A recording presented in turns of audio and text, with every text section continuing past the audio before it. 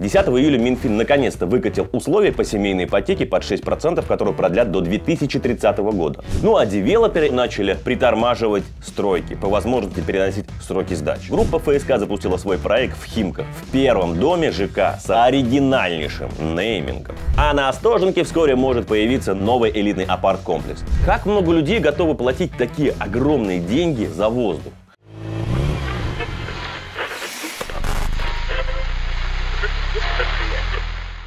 Привет, друзья! С вами дайджест новостей недвижимости на канале «Хочу квартиру». И я, Никита Журавлев. Пока москвичи изнывали от жары, риэлторы изнывали от отсутствия спроса на квартиры. Шутка ли? Полторы недели после отмены льготной ипотеки рынок в подвешенном состоянии. Но давайте обо всем по порядку. 10 июля Минфин наконец-то выкатил условия по семейной ипотеке под 6%, которые продлят до 2030 года. Воспользоваться ей смогут семьи, где есть хотя бы один ребенок в возрасте до 6 лет, а в 35 регионах просто два несовершеннолетних. Для Москвы и Петербурга и их областей 12 миллионов, а 6 миллионов для остальных регионов. Также потребуется первоначальный взнос 20%. Как нетрудно посчитать, участие в программе позволит сэкономить в среднем 30 миллионов рублей. И именно такая разница между суммами, которые надо выплатить за 30 лет по льготной и рыночной ипотеке, где ставка сейчас достигает 20%. Для оценки взяли сумму 12 миллионов рублей при первоначальном взносе 2,8 миллионов рублей. Так еще и дома при инновации включили. Такие стимулы рождения детей мы поддерживаем. Кстати сказать, одним из результатов субсидированной ставки стал резкий скачок цен на новостройки. Причем лидером безудержного роста была даже не Москва. В ЦАН посчитали, что за 4 года жилье в столице стало дороже всего на 73%, тогда как в Омске и Краснодаре квартиры подскочили аж в 3 раза. В среднем по мегаполисам цены выросли примерно в 2 раза. Дошло до того, что некоторые депутаты даже успели обвинить застройщиков в сговоре с просьбой проверить стремительный рост цен на новостройки в ФАС обратился вице-спикер Госдумы Борис Чернышов. Но в ведомстве поспешили ответить, что рынок есть рынок, пообещав изучить факты ценового сговора, если у кого-то такие есть. На том и разошлись. А вот кто точно переоценен, так это роскошный дворец Аллы Пугачевой в Малых Бережках, что на Истринском водохранилище. Не сумев за два года найти покупателя, готового заплатить 132 миллиона рублей, Примадонна теперь пытается продать его в ипотеку. Как сообщается, первоначальный взнос составит 15 миллионов рублей, а потом в течение 20 лет предлагается платить по 2 миллиона рублей ежемесячно. Но это только для самых ярких фанатов женщины, которая поет. Давайте опустимся немножечко на землю, точнее на рынок новостроек. Москвичи в июне торопились с их покупками, как могли, и многим даже удалось запрыгнуть в последний вагон. Согласно данным Dataflight, рост продаж в московском регионе в первый летний месяц был впечатляющий, плюс 24% в лотах и плюс 16% по выручке по сравнению с маем. А потом рынок затих. В агентстве «Этажи» даже сравнили ситуацию с ковидной весной 2020 года, когда спрос рухнул на десятки процентов. Продление семейки, конечно, поддержит спрос, однако трудности ипотечного рынка теперь надолго. Как минимум на пару лет пообещал глава Сбера Герман Греф. На недавнем форуме ЦБ он заявил, что из-за резкого роста цен на новостройки доступность жилья снизилась на 10%. Поэтому сейчас должно пройти время чтобы рыночная ситуация пришла к балансу. Сказать на том же форуме глава ЦБ Эльвира Набиулина заявила, что не только не видит причин для снижения ключевой ставки, но и напротив считает вероятным ее повышение. Так что нынешние ставки может быть еще и не так плохи, как нам это кажется. Но, как говорится, посмотрим. Кстати, умы людей из Центрального банка заняты не только ипотекой. Единый стандарт, который они сейчас прорабатывают. Закрутить гайки планируется и для самих застройщиков застройщиков. В части оценки проекта. В основном все предложения призваны снизить любые риски, банкротств и недостроек. Что получится в итоге, станет ясно совсем скоро, пока все предложения обсуждаются. Ну а девелоперы и без того начали притормаживать стройки, по возможности переносить сроки сдачи. Статистически это привело к падению объема ввода. Например, в Москве за первое полугодие сразу упало в два раза до 1,7 миллионов квадратных метров против 3,3 миллионов квадратных метров за январь-июнь 2023 года. Итоги полугодия в своем телеграм-канале привел мэр Москвы Сергей Собянин.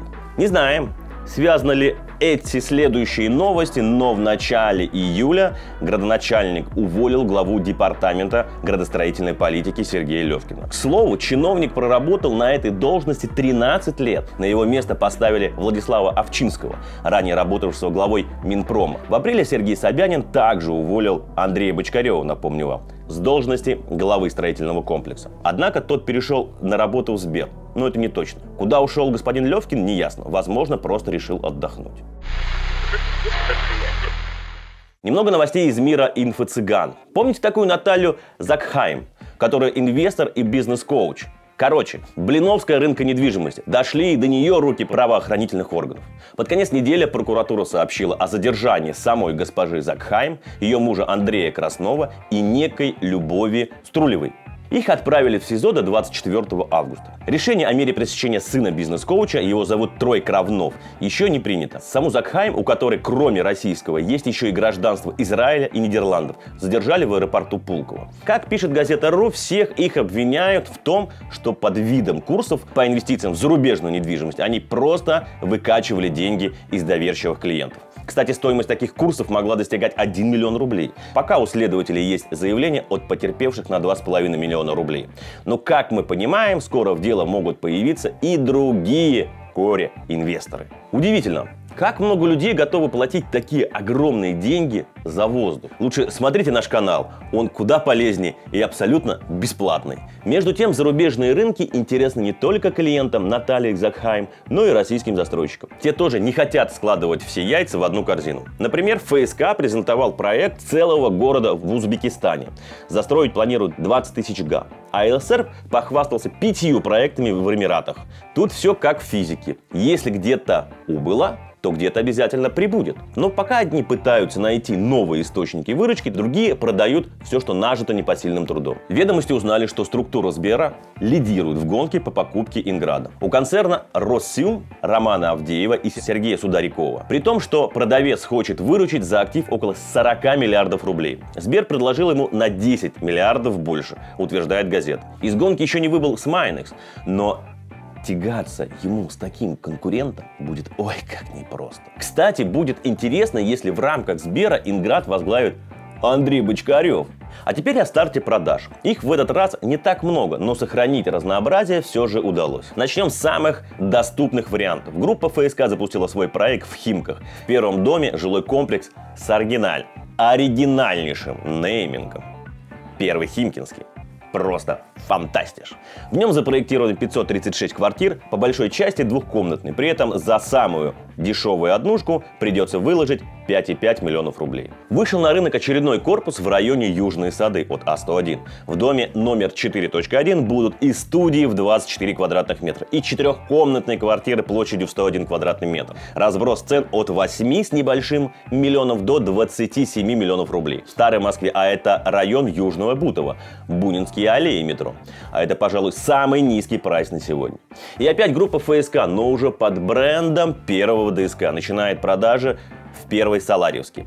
Поселок Московский, что, соответственно, в Новой Москве. Сейчас студия в 27 метров с небольшим метражом стоит почти 9,5 миллионов рублей. А первый корпус обещает сдать уже через два года. Следом у нас два проекта с почти одинаковыми минимальными ценами, но в принципе разных локациях и классах. Отрада Development запустила в продажу так называемый Prime квартал Отрада на реке. Точнее, на реке Синичка. Просторная однушка площадью 36,5 квадратных метров стоит 13 миллионов. За жилье в 118 метров просят уже 32 миллиона рублей. Рендеры выглядят неплохо, только вот до ближайшего метро Пятницкое шоссе нужно добираться несколько километров. Куда понятнее локации у Мангазея на Тульском. Девелопер вывел на рынок 28-метровые однушки за 13 миллионов, а трешки площадью 85 метров отдает за 37 миллионов рублей. За 13,6 миллионов рублей можно уже стать резидентом Кутузовского, точнее, среды на Кутузовском, которая в Кунцево строит пик. Ну, не пик, под своим новым брендом «Среда». Всего здесь будет 831 квартира. Самую маленькую квартиру в 22 метра можно купить за 13,6 миллионов. Судя по рендерам, будет и шикарный двухуровневый пентхаус в 121 метр. В свою очередь, девелопер Форма открыл брони квартиры в новой очереди жилого комплекса Репаблик что у белорусской. Самому застройщику очень хочет, чтобы это был элитный проект, так он его и стремится позиционировать. Однако нам все же кажется, что он ближе к крепкому бизнес-классу. За студию в 27 метров с небольшим метражом просят чуть больше 20 миллионов, а трешку почти в 104 метров стоит около 57 миллионов. Надо признать, что над концепцией, как и над планировками коллеги, хорошо поработали. Обещают и пинты, и даже лоты с террасами. На территории жилого комплекса также будет бизнес-центр, детский сад, гастроцентр и даже спа, термы и шопинг аллея Короче, любой каприз за ваши бабки. Кто точно не намерен тормозить свои проекты, так это Stone Development. Не успела компания купить участок в проекте Сити 2, как уже получила ГПЗУ на него. В нем уточняется, что на месте квартала Камушки появятся две высотные жилые башни, объединяющие шестиэтажным стилобатом. В последнем будут офисы, ритейл и всякая нужная инфраструктура. А вот жилье планируется более 230 тысяч квадратных метров. Девелоперу Stone, видимо, понравилось реализовывать парные офисы и жилые проекты. Например, на своем сайте он уже выложил тизер с очередным новым жилым комплексом на Калужской и на Римской. Что и как пока не ясно, кроме адресов и того, что на Римской ожидается бизнес-класс, тогда как на юго-западе целый премиум. Ждем подробностей. А на Остоженке вскоре может появиться новый элитный апарт-комплекс. Во всяком случае, архбюро Гинзбург разработало проект реконструкции бизнес-центра, который был построен здесь четверть века назад по проекту Бюро Остоженко. Что интересно, заказчиком проекта является компания «Стройиндикат», чей генеральный директор Бехам Хамчиев, младший брат сенатора от Ингушетии Балана Хамчиева. Ну а компания РФС продолжает осваивать Большую Никитскую. В этот раз стало известно о реставрации доходного дома Коровина на Большой Никитской 18. Объект имеет статус культурного наследия, поэтому РФС ограничится именно реставрацией с усилением элементов и конструкции здания. В итоге здесь появится бутиковый и, видимо, очень дорогой жилой дом на 4 квартиры и два ресторана. Из интересного на этой неделе планы Донстроя по застройке участка в Немниках, где должно быть появиться жилье по реновации. Но почему-то так и не появилось. Действительно, ну какая реновация, если можно построить новую очередь острова. Кстати сказать, на этой неделе нас ждет черная пятница рынка недвижимости. Десятки девелоперов уже пообещали скидки в своих проектах. Так что не упустите шанс получить не просто фиктивную, а самую настоящую скидку. О ее результатах мы расскажем в следующих выпусках. На этом все, дорогие друзья. Если вам понравилось, то не стесняйтесь и ставьте лайки. Так работают механизмы YouTube. Чтобы этот выпуск увидело побольше людей. И пишите, конечно, комментарии. Мы сможем стать лучше благодаря вам. Пока. И улучшайте свои жилищные условия.